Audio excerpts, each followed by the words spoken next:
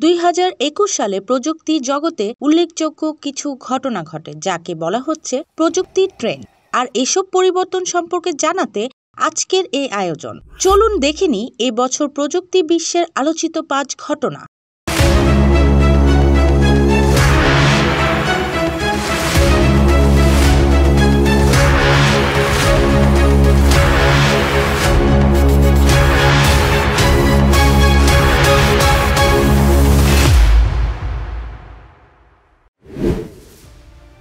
ইতিহাস সৃষ্টি করে প্রথমবারের মতো সূর্যকে স্পর্শ করেছে নাসার সৌরযান পার্কার। পনেরো ডিসেম্বর নাসা সূর্যজয়ের এই ঘোষণা দেয়। সূর্যর বলের মধ্যে প্রবেশ করার মাধ্যমে এই নক্ষত্রের পৃষ্ঠদেশের নানা তথ্য জানা সম্ভব হবে বলে আশাবাদী বিজ্ঞানীরা।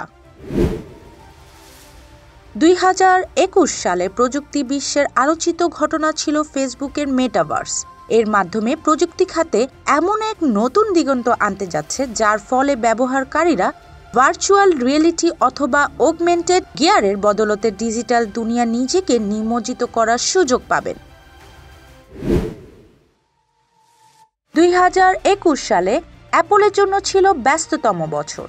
এবছর প্রতিষ্ঠানটি চারটি আইফোন, নতুন আইপড ইয়ারট্যাগ বহুমুখী ম্যাক এবং আইপ্যাড সহ বাজারে ছেড়েছে অ্যাপল ওয়াচ তবে সবচেয়ে বেশি অদ্ভুত আবিষ্কার ছিল পলিশ ক্লথ যার দাম বাংলাদেশি মুদ্রায় প্রায় দুই হাজার একশো নিরানব্বই টাকা। প্রযুক্তি নির্মাতা এলন মাস্কের প্রতিষ্ঠান টেসলা বিশ্বের সবচেয়ে দামি ইলেকট্রিক গাড়ি নির্মাতা হিসাবে স্থান করে নিয়েছে। যার মূল্য ফোর্ড মোটর ও জেনারেল মোটরসের সম্মিলিত মূল্যের চেয়েও বেশি। এছাড়াও, একই বছর কোম্পানিটি কোনো প্রকার সরকারি সহযোগিতা ছাড়াই নিজস্ব ক্রু নিয়ে মহাকাশ ভ্রমণ করে।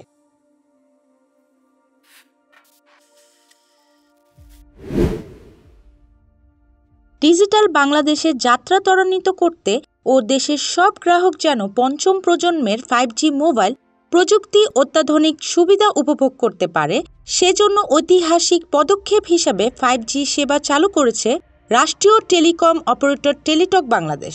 বারোই ডিসেম্বর বিশ একুশ পরীক্ষামূলকভাবে এ সেবা উদ্বোধন করেন প্রধানমন্ত্রী তথ্য ও প্রযুক্তি বিষয়ক উপদেষ্টা সজীব ওয়াজেদ জয়।